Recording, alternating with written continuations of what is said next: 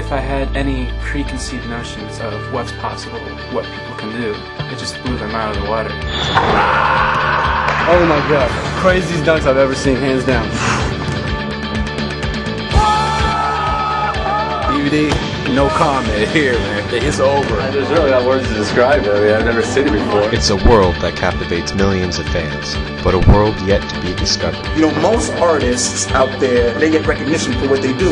But you know, being a dunk artist, you really don't. But there's just no outlet for street dunkers. Who knows what they're capable of doing? They just have not received exposure. But together, they will show the world something it will never forget.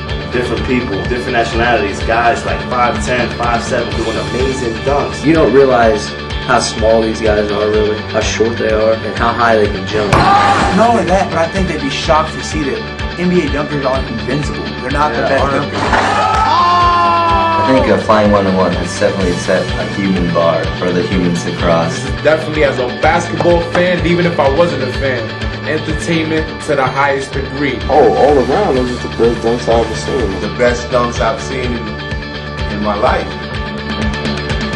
Starring Kadour Ziani, Devin Thompson, Slam Nation, Irie Bowden, Sansoft, Taking Flight, Minbo Ballers, and introducing Troy McRae.